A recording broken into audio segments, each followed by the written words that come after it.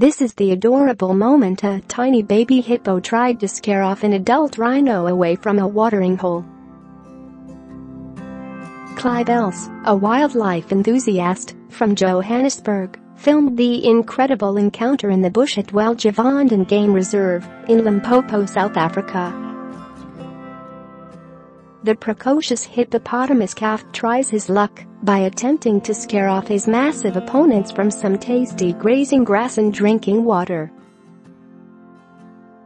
During the video, the young hippo attempts several times to scare off the large rhino whose two pals are just out of shot. Each time the hippo backs down and runs back to the water, but quickly emerges again to try his luck. Share this article Share the little creature even opens his mouth in the threat posture adult hippos use to show off their huge tusks except this baby hippo has very tiny tusks. Mr. Else was on a weekend bush break with his wife at Nungubane Lodge when he spotted the action out on a game drive with a game reserve guide. He said, At first I could not believe what was going on in front of us as we pulled up at the water hole.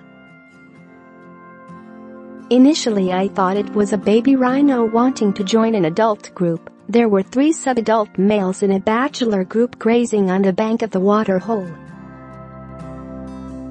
But I quickly realized it was too small, it was a hippo and its mum was lurking in the water a few meters away.